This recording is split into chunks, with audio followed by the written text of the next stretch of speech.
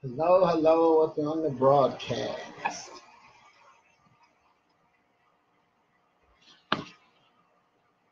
Welcome to Glue Wednesday. G L U E, God's love undoes everything. This is my weekly broadcast, and as some of you may know, it's because so many times people think of Wednesday as hump day. And I say that Wednesday is actually the middle of a traditional seven day week, connecting the weekend and the weekends, uh, the weekend and the week beginning. So it's actually the glue that keeps the week together. And in terms of me being word sensitive and creative, I always say we don't need to get over, we don't need to hump, we need to keep it together. We need the glue. And the glue we need is God's love because it undoes everything. Whatever trials and tribulations you're going through, remember the operative word is a self-fulfilling prophecy. It's through.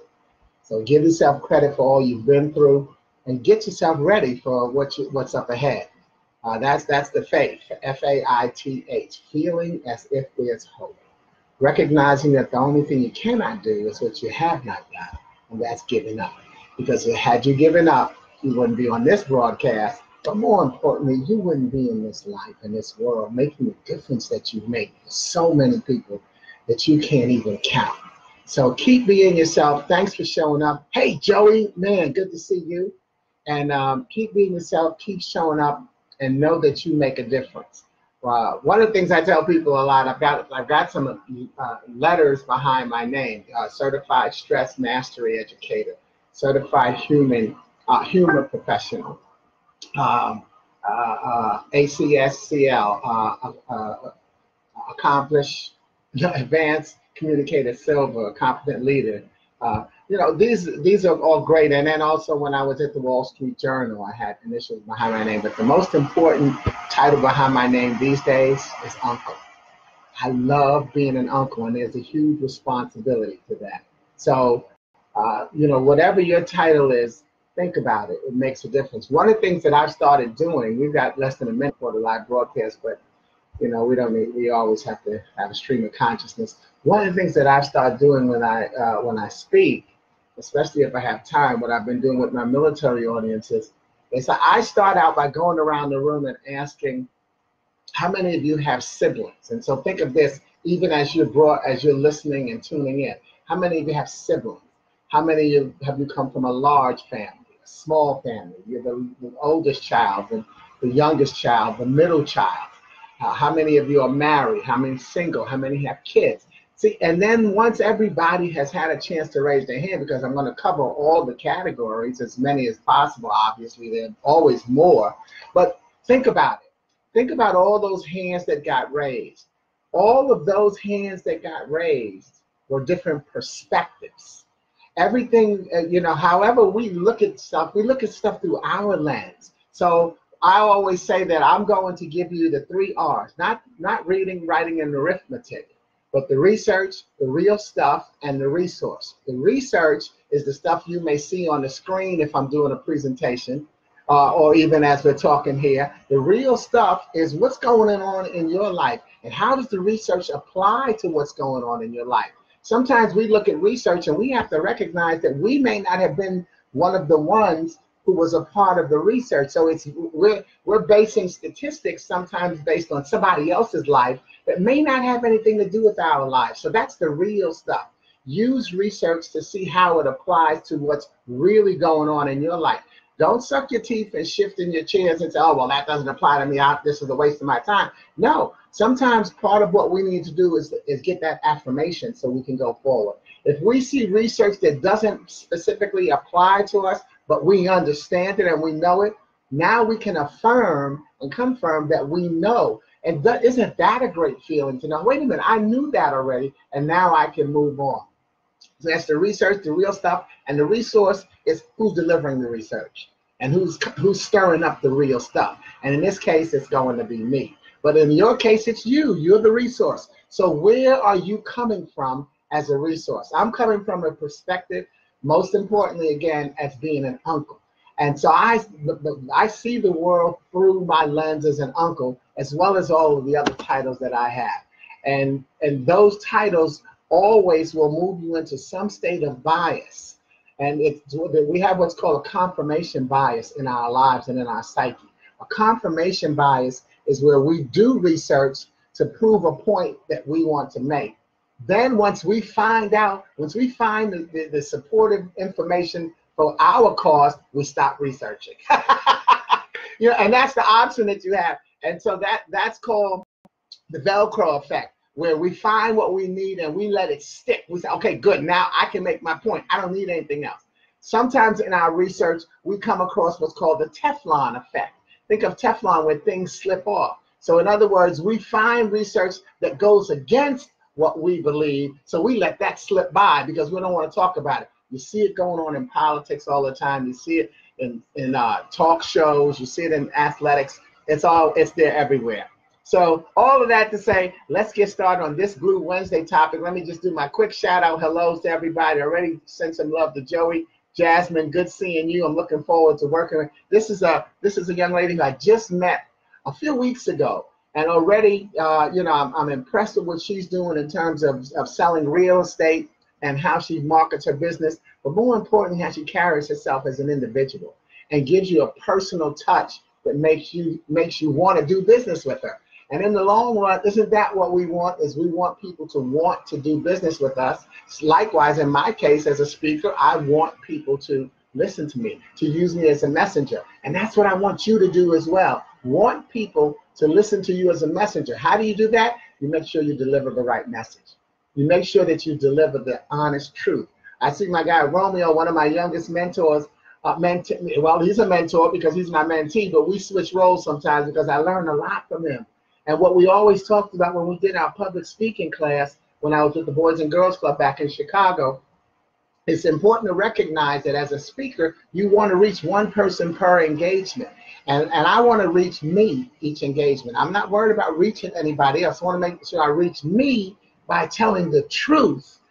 because today I might not today I might not be your messenger. Depending on that, that perspective that we talked about of where you're coming from, I don't know what's going on in your day today. And that's the same thing you have to think about. Um, Romeo, uh, you know, he's he's now he's moved from being a, a member at the Boys and Girls Club to being one of the leaders, one of the counselors.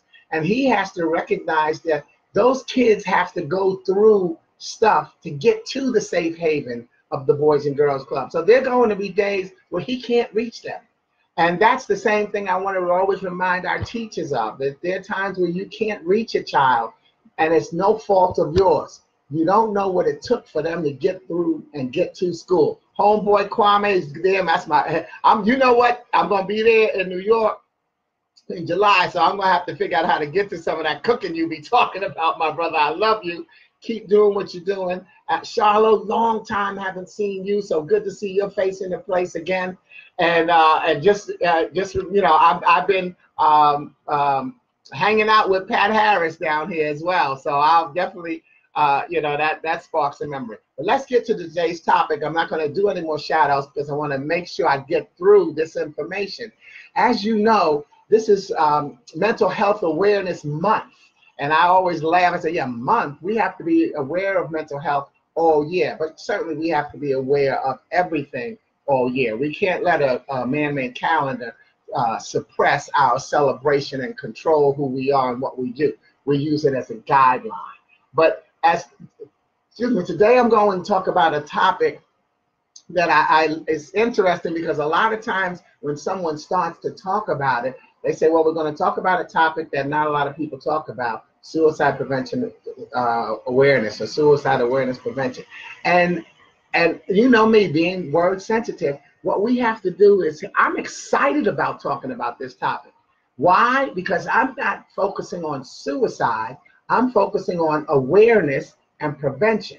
It's important. We need to be excited to talk about this topic because this is a topic that can make a difference in our lives and in our world. When we, the more we know about it, the more we can do to help prevent it from touching our lives personally, but with somebody in our life taking their lives by suicide. So that's what I'm going to do to, today is give you some insight on that. And what I start, and I want to uh, I want to dedicate this presentation or this Glue Wednesday to the South Carolina Army National Guard and my good friend over there, Chris Allen, who's the director Uh, actually, I don't know what his title is, but he, he's in charge of it. And but the thing is, hey Sam, oops, I told you I'm not gonna do shout outs, but Sam Posen was one of the the man that gave me the one of the biggest chances that I could have in my career when I was at the Wall Street Journal, and it really helped me move along. And that's part of where I come from with my sharing as well. But I'm dedicating this to the South Carolina Army National Guard, but also to the military because as it turns out today is May 22nd. It's the 22nd of the month. And the South Carolina Guard does what's called check-in uh, buddy check 22. In other words, every 22nd of the month, we do a check-in on Facebook. And the reason being that 22 is the number that represents how many veterans take their lives by suicide on a daily basis. We lose 22 veterans to suicide a day in terms of the average and again the research and statistics. So today, today is Buddy Check 22 at the South Carolina Army National Guard.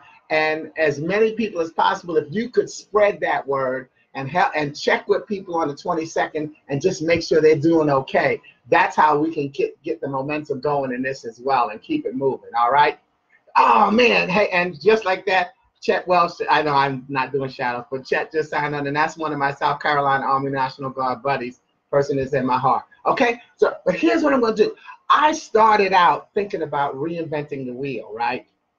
And I said, okay, once I decide I want to do this topic, I said, oh, well, let me go, you know, get some more information, and then, and then I, and then the, the thing is, as I went to get the information, I went to a presentation that I did that I had actually created for suicide prevention awareness in 2015.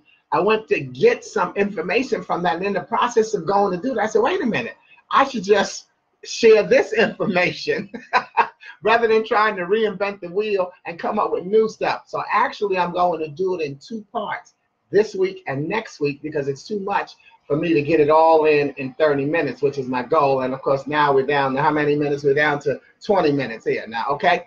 So, but the reason, you know, not that the, the time the time is important, but I, I just want to say to you, we don't want to rush a topic, especially when we want people to really get the meat out of it. Sometimes that, that's a fine line between what goes on with the speaker, with the teacher, with a, a leader, with a boss, with the commanders. A lot of people in our lives, children, parents. Okay, but I, when I created the, the session, I called it My Piece of the Puzzle or Puzzle.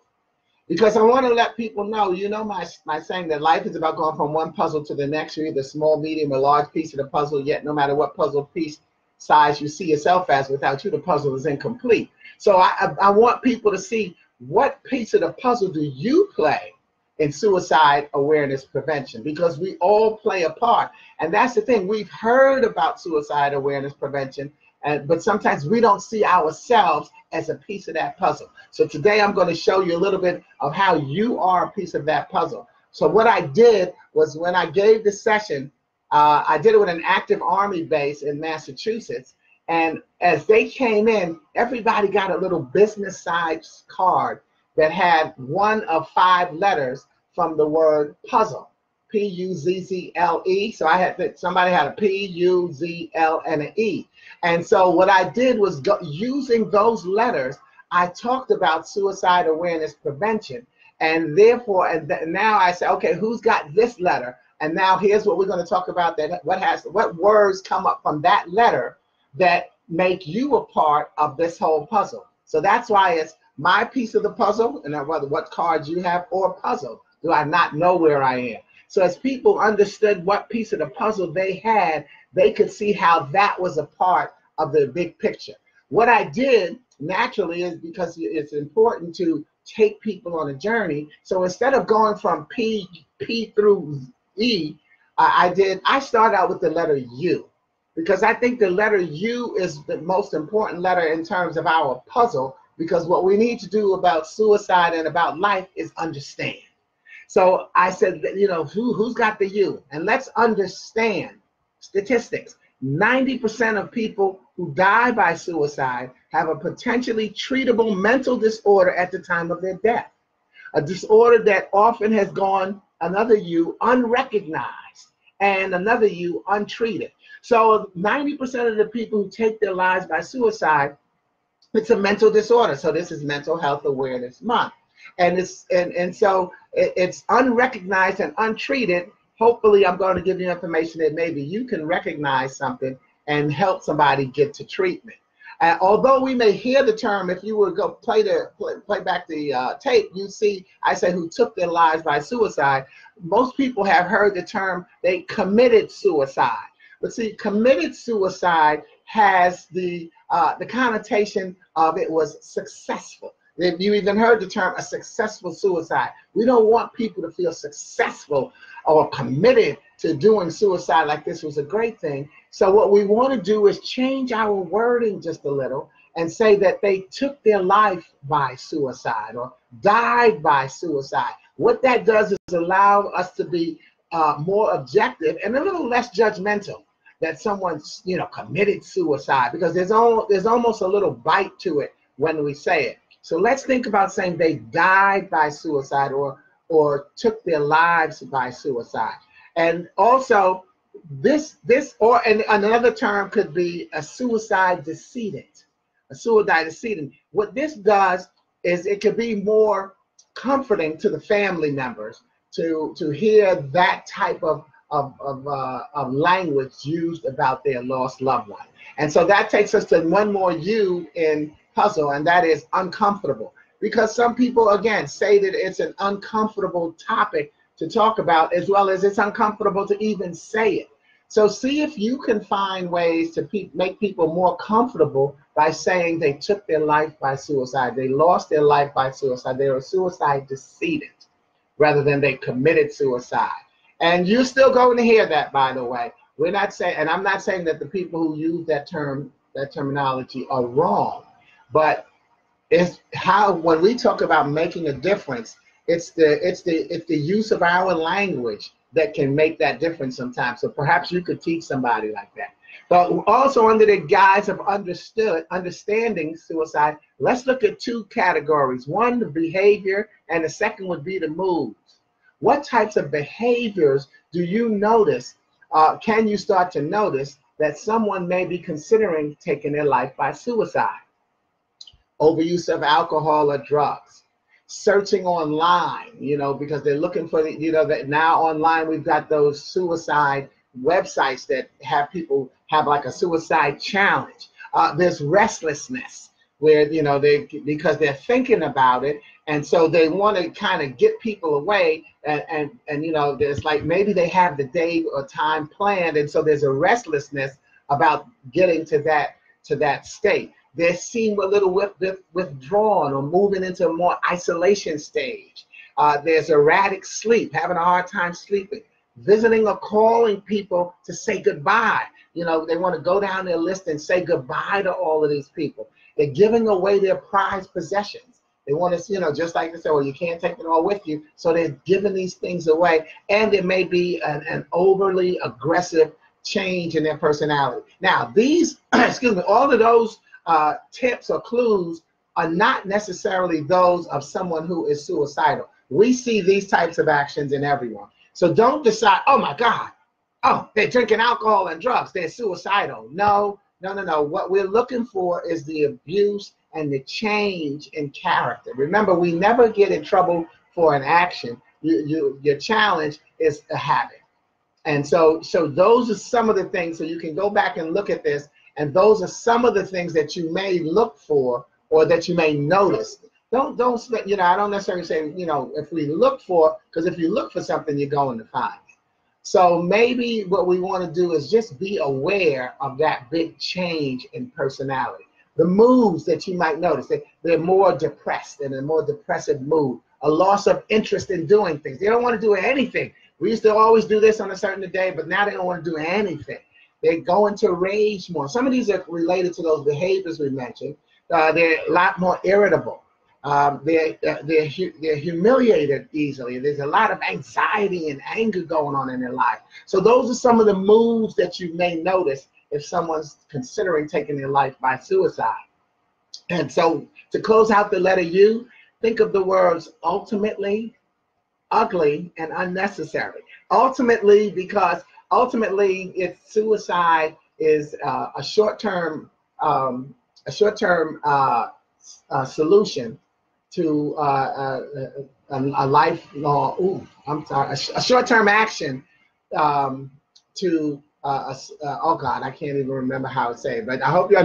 I mean, it, but it's not the solution. It's a short-term. Um, um, mm, I can't think of that word. I lost it. Okay, but anyway, uh, ultimately, it, it it does not cure you. It does not help the situation because most people who take their lives by suicide, in some way, again, we go back to this being a treatable mental illness. In some way, they think this is going to either stop the pain for them or it's going to make things better for someone else if they're not in the way. Those are the types of things that move people toward thinking about that. So ultimately, it's not a good idea. And ugly, why ugly? Well, because that's one of my favorite, my original acronyms, UGLY, unique, gifted, lovable you.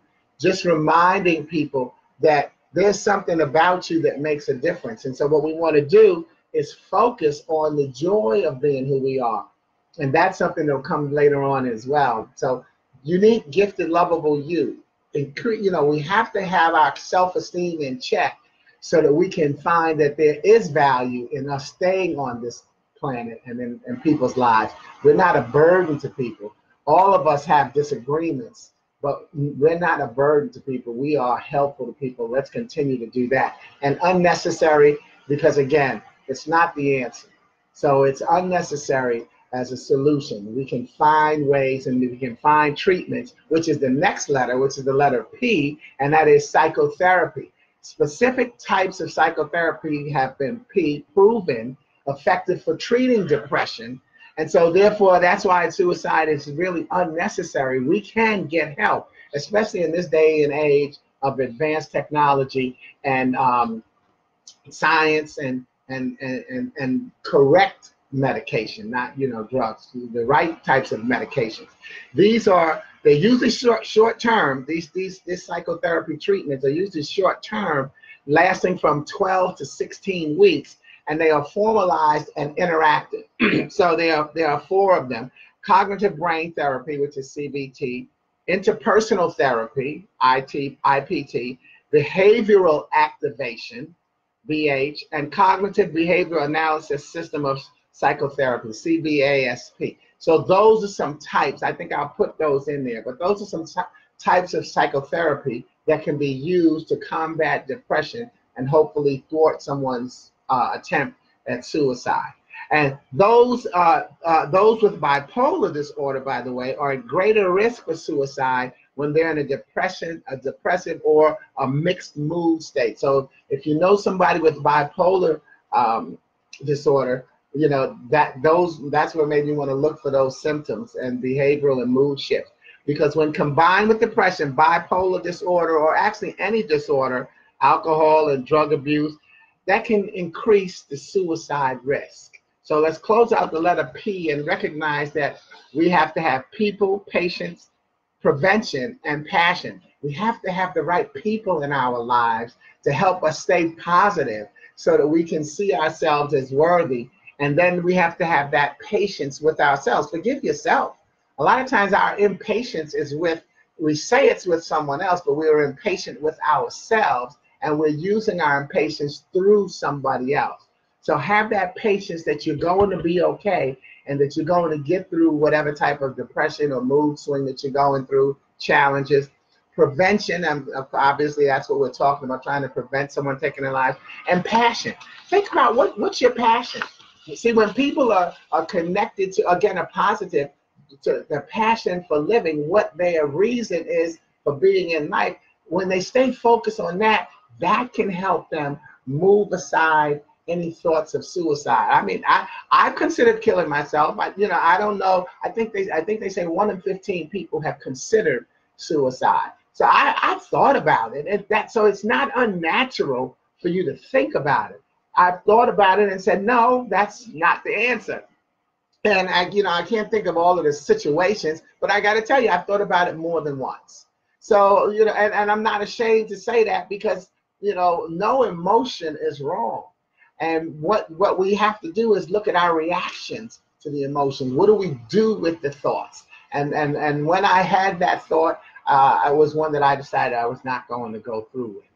What we uh, one of the things that I carry around with me, still on the letter P, and talking about prevention, the uh, the National Guard uh, had military one source has what they call an ACE card, and an ACE card. This is how we talk about suicide prevention awareness in the military. And ACE is ACE, ask, care, and escort. In other words, ask someone, are you thinking of killing yourself?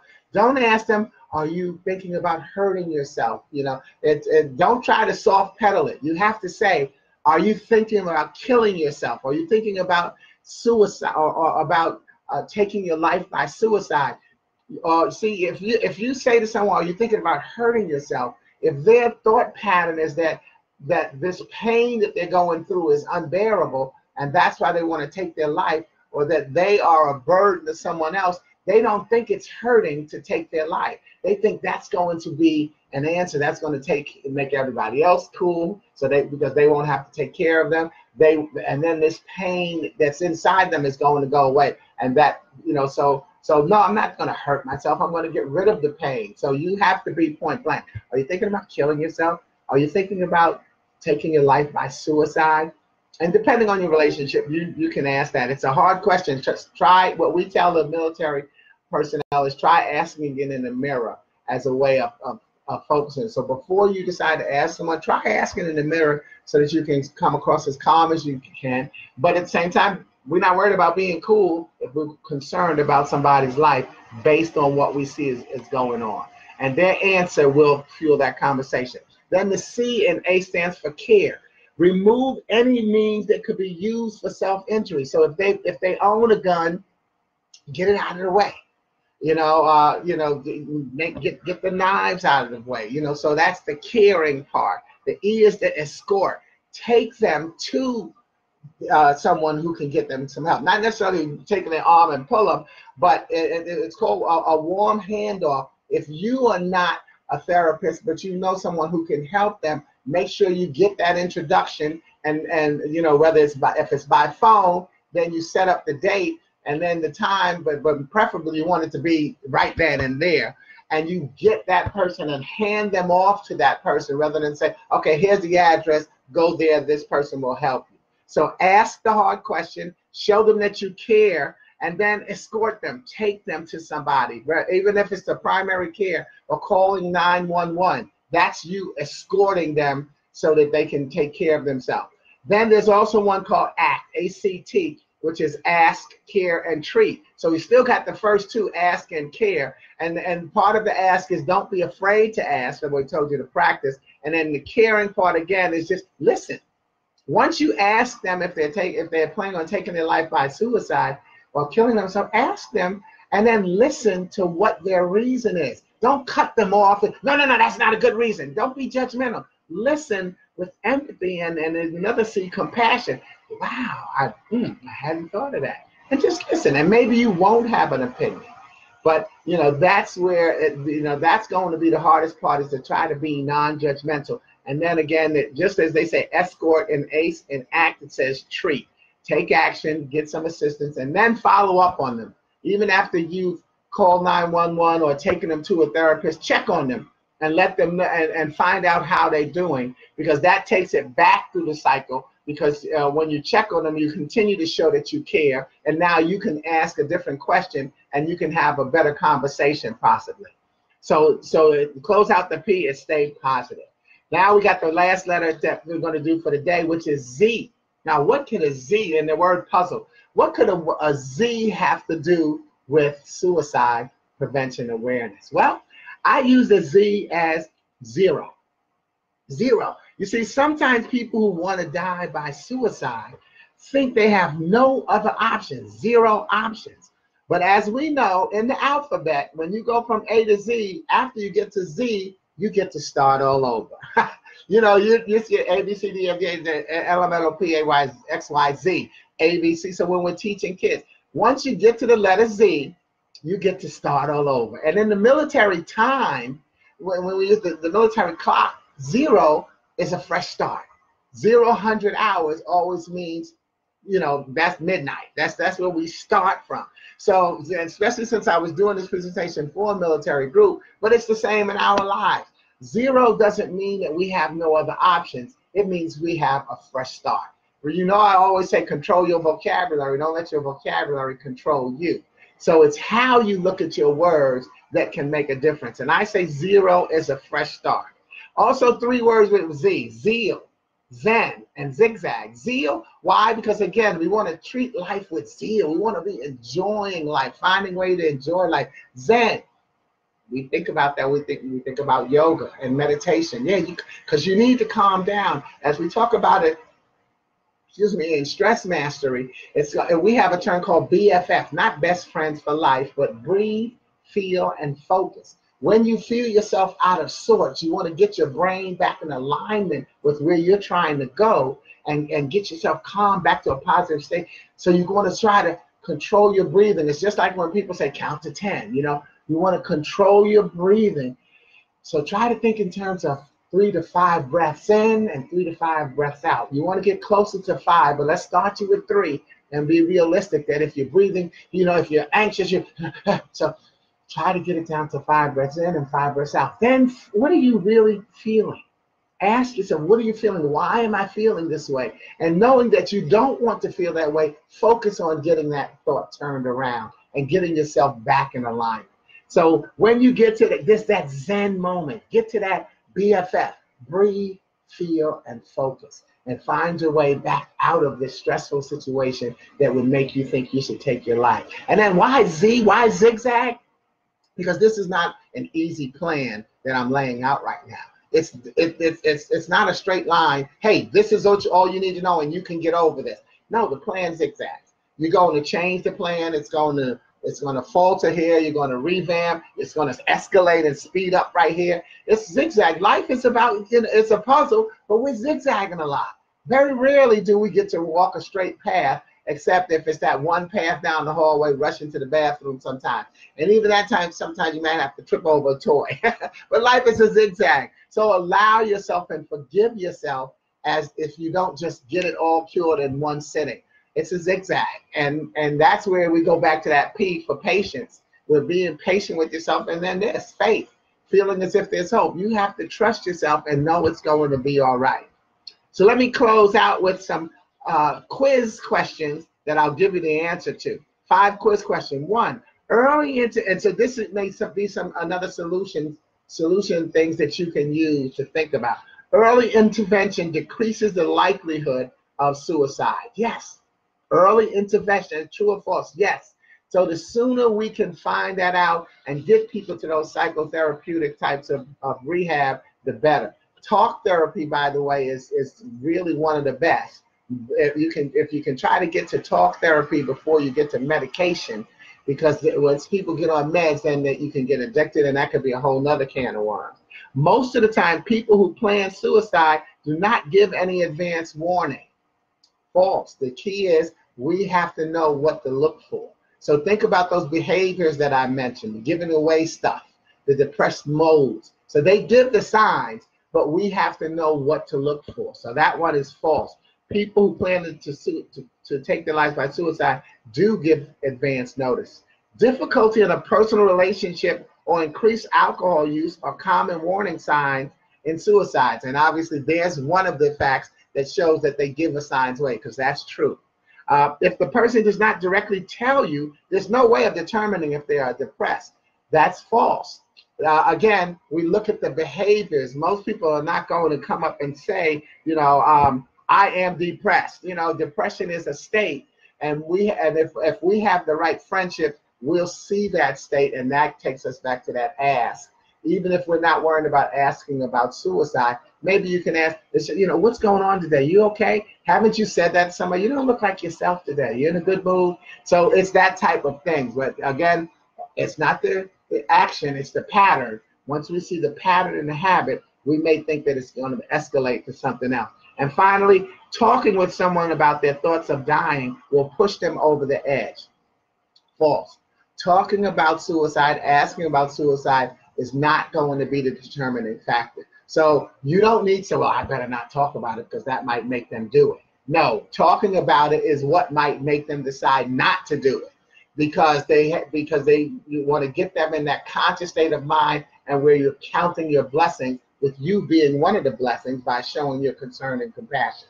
So talking to someone about it does not necessarily push them over there. Is there that chance? Absolutely. But is there is just as much chance of uh, you know of that in any conversation. So don't hold back if you see you're noticing something. Uh, you know, someone needs to. Oh, you they might not be aware. Oh my goodness, was I doing that? No, no, no, no. Here's where I'm going, and that again, that that builds the friendship. So I want to close out, close out by saying that www.afsp.org, American Federation of Suicide Prevention, is a good source of research, and, and I'm sure it will connect you to some real stuff and let you be a better resource. www.afsp, American Foundation of Suicide Prevention.org. And what, what one of the things that I found out is that there are one, two, three, four, five, six, seven, eight, nine colors of beads. So if you do a suicide walk, which is what something I do annually, you everybody wears different a different color beads. And I have my beads now hanging from my mirror in my car. And these are the different colors, beads of why you're participating in the suicide walk. And if you wear white beads, it's because you have the loss of a child. Red is the loss of a spouse or a partner. Gold is the loss of a parent. Orange is the loss of a sibling. Then these are two suicide, by the way. Purple is for the loss of a relative or a friend, which I had it. I have. Uh, I, I, I use the purple because I have a friend who uh, took their life by suicide. Silver is the loss of a first responder or someone in the military. Green is a personal struggle or attempt. If you are struggling with suicide or have made attempt, then you wear the green bead. Blue is that you support suicide prevention. So therefore, everybody can wear blue. Everybody on this broadcast, you know, can wear blue beads to support suicide. And lastly, teal, and that is for a friend or family member of someone who struggles or has attempted. So those are the nine colors of the beads that people wear so that you know it's not just random that they happen to have on these beads when they do the suicide awareness prevention walk, but you can be a part of that. Find a way to get involved and know that you are an important piece of the puzzle. You do have something to do with someone deciding to take their life by suicide or to not end their lives by suicide. Next week, I'll talk about the L and the E in the word puzzle so that we can see that we need to put it all together and that when we are working together, we make a difference. Thanks again. And that, as you can see, when we're working together, we're the glue. Glue, G L U E, God's love undoes everything. You make a difference and you help us keep it together. Thank you for joining the broadcast, and I'll see you next week. Over now.